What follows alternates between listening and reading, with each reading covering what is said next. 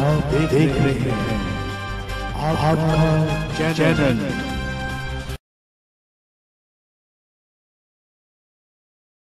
चियाली के निकट Radiana water scheme के पंप हाउस के पास कुठाड़ खड्ड में मलबा आ जाने के कारण पानी रुक जाने से कृत्रिम झील सी बननी शुरू हो गई है और पानी का स्तर बढ़ रहा है।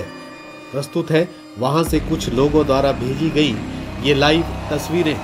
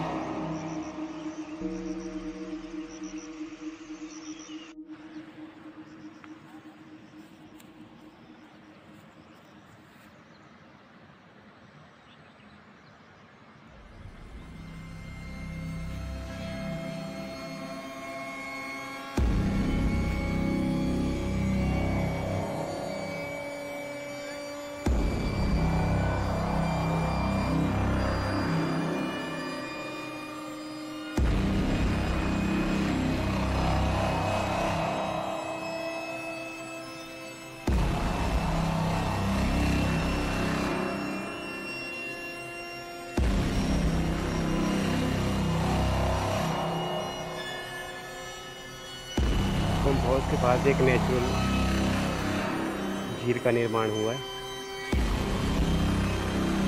इसका नाम गोविंद सागर झील भी इसमें सारे पेड़ पौधे हैं नदी में आ चुके हैं।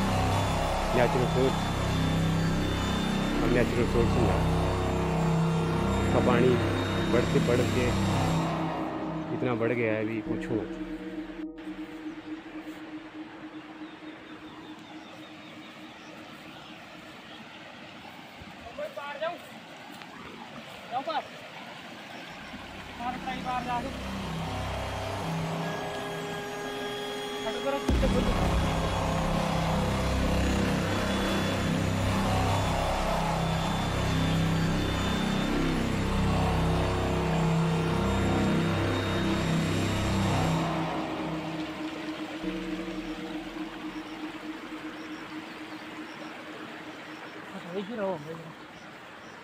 Tapi dia.